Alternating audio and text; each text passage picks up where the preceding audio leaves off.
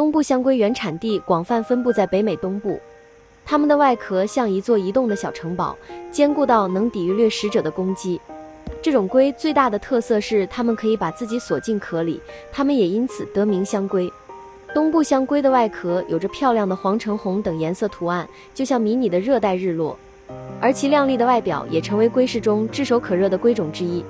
东部香龟属于杂食性，在野外是以蚯蚓、蜗牛、蛞蝓、昆虫、菇类、浆果等为食物，人工饲养下，一般可以喂食龟类饲料、蟋蟀、面包虫、乳鼠、羊菇、青菜及水果等。